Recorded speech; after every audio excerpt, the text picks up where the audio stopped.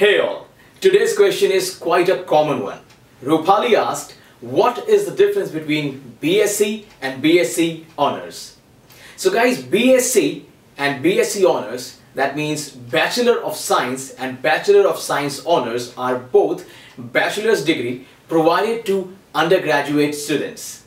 But the first important difference is that of duration of the courses. BSc General course is a three-year course but the BSc honors course might take up to 4 years to complete.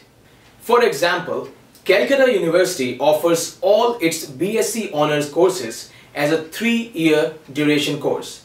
However, Delhi University has introduced 4-year BSc honor courses to facilitate those students who would like to go for higher studies abroad.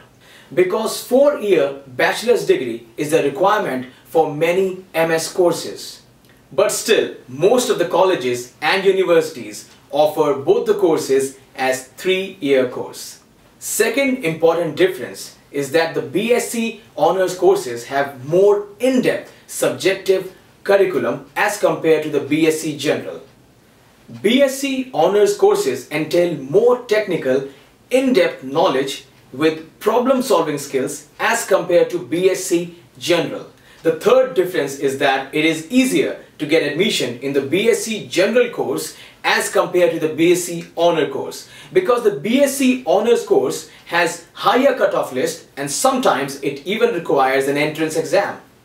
So to summarize it for you, here are the important differences between the two courses.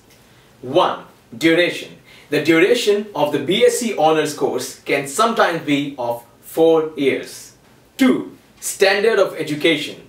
The BSc honor course comes with more technical and in-depth knowledge.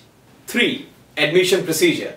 The BSc honors course may require an entrance exam and or higher grades for admission as compared to the BSc general course. Bottom line, BSc honors course is always considered superior as compared to the BSc general course. Bye-bye.